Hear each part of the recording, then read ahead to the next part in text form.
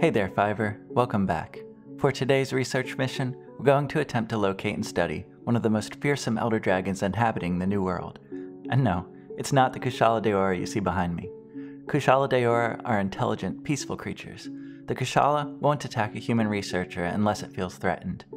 The same cannot be said about the subject of this mission.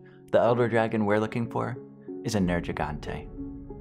The Elder's Recess, home to some of the most powerful monsters known to the Hunters Guild, is a mysterious volcanic cave system covered in the crystallized bioenergy of elder dragons.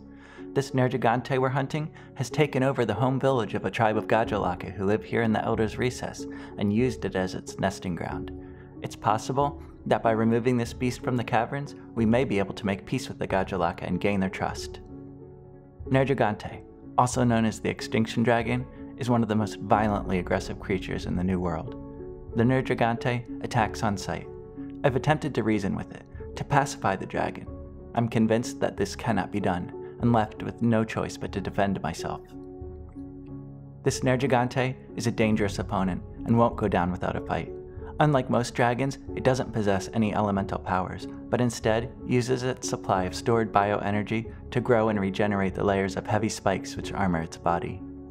When the spikes first grow in, they are brittle and pale, but in a short time, they harden and can easily deflect the cut of a hunter's blade. It's best to attack the Nergigante when its spikes are still pale, as this is its most vulnerable moment.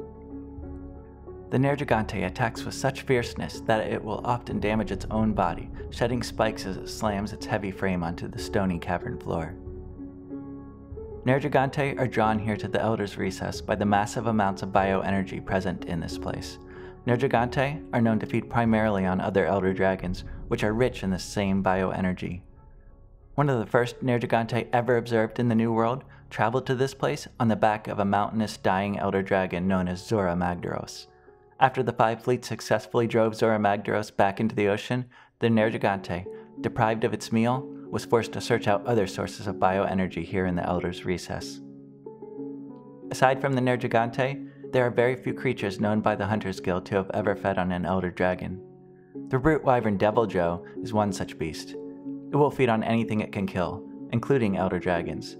There is also the fanged beast Rajang, which often feeds on Kirin in order to harvest their elemental energy. One final entry into this category of elder dragon eaters, strangely enough, is the Khezu.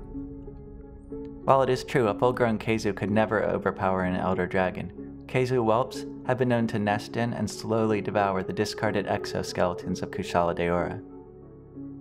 Ultimately, the greatest weakness of the Nergigante is its own blind aggression.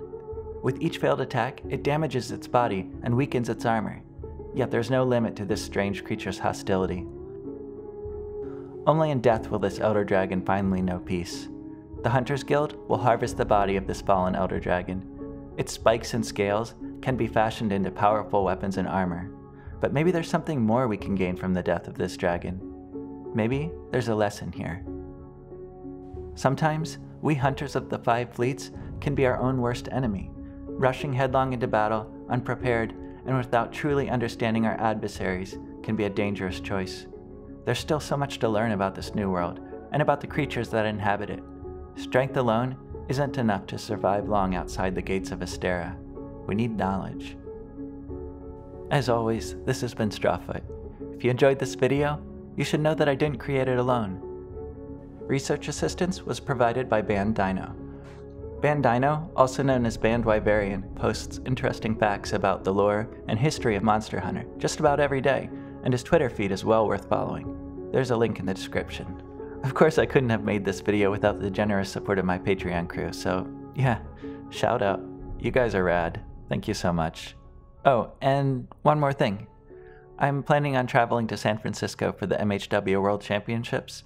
If you're going to be there, make sure to find me and say hi. I'd love to meet some of you in person. So, uh, yeah, don't forget to click all the buttons, you know, the YouTube thing, and maybe stop by my Discord or Patreon if you have time. There's links to everything below. Until next time, happy hunting and peace out.